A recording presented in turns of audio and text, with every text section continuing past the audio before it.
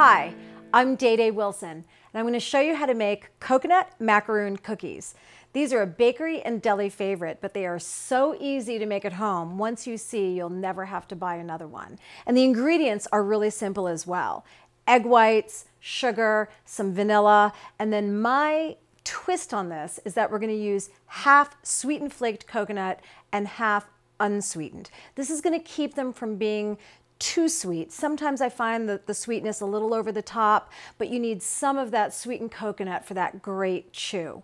So they're made on top of the stove first before they go in the oven. So the first thing we need to do is get our egg whites. So I'm going to separate four eggs. So to separate the eggs, we're just going to rap the egg firmly on the side of our bowl and let the egg white, it's the egg white for this recipe that we want.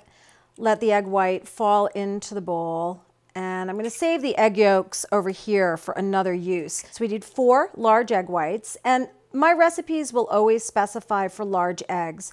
Baking recipes should specify. If they don't and it just says four eggs, assume that it's large.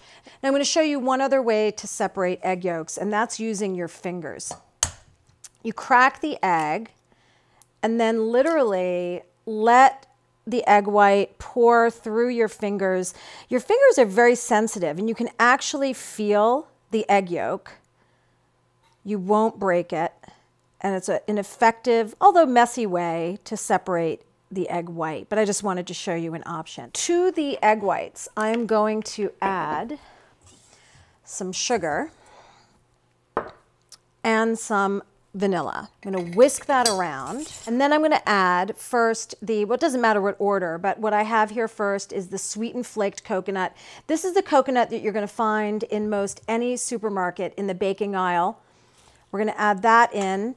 And then the unsweetened coconut, you can see looks a little different. It has a finer shred. It has no sugar added as uh, just like it sounds. It's unsweetened. So this is going to add maximum coconut flavor without adding any more sweetness. You're most likely going to have to go to a natural food store or a health food store for this uh, or special order it online. So you can see so far, all we've done is really dump and mix. It's that easy.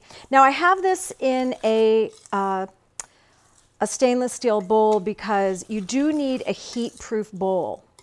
This bowl is going to become the top of a double boiler. I'm going to switch to a spatula at this point. So I have a bowl with water right here on my burner. I'm going to put this on top it's just touching the water.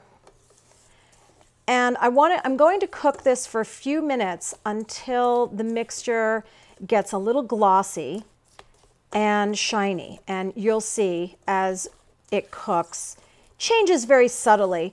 Uh, really, you want it to be warm to the touch. That's another way to tell when it's done. So the mixture has gotten glossy and I can feel that it's warm, which is exactly where we want it. This only took a few minutes. It's gonna take you less than five.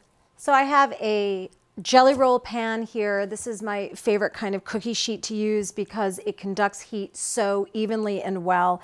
I have it lined with parchment paper. This is a great scoop for uh, making the size cookies that I want, which are about golf ball size. You could certainly use two teaspoons to dole out the coconut batter, but you'll see that the scoop is just gonna make things go really quickly and efficiently, and also is gonna help us um, have a really uniform shape to our cookie. So these cookies don't really spread, um, so you can put the cookies fairly close together, and we're gonna be able to get the whole batch on this one sheet. And you can do a double batch very easily. You just obviously have to have a larger bowl. These are gonna go into a 375 degree oven for 10 minutes or so, maybe 13 minutes. You just want them to be evenly golden brown, tinged on the outside. I'll show you what they look like when they're done. When the coconut macaroon cookies are done, this is what they're gonna look like. They're just gently golden brown around the edges. They're still gonna be really moist in the center. Um, they're different than a cookie like a chocolate chip cookie, which you can overcook so easily. These are gonna always retain this wonderful moisture inside as long as you go for this kind of color. This is how you know they're done. Very often, if you uh, look for coconut macaroons in bakeries, you'll find them sometimes like this and sometimes half dipped in chocolate. And it's as simple as melting some semi-sweet chocolate in the microwave or in the top of a double boiler and just dipping half into the chocolate just like that. I usually scrape off the bottom a little bit, put it back on the parchment paper, and then I usually pop them in the refrigerator for a few minutes until the chocolate is set. I usually store these in the refrigerator if they're chocolate dipped and they will certainly keep for a few days, but bring them back to room temperature before serving. And then I think it's always great on your serving uh, tray or platter, or in this case, we have this tiered um, display unit. I think it's great to have some half chocolate dipped and some plain, so your guests have their choice. And in this way, you've made one recipe, but really have two different kinds of cookies to offer. So moist, and I like the ones with the chocolate. Mmm, perfect. Sweet, but not too sweet. The coconut flavor is really prominent.